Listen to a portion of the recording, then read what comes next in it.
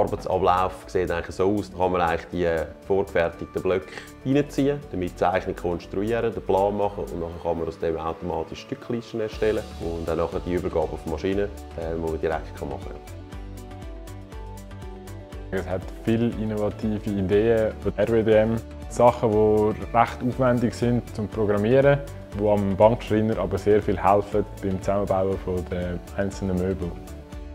Und wenn das jeder selber machen müsste, ja, man hat eigentlich wenig Zeit.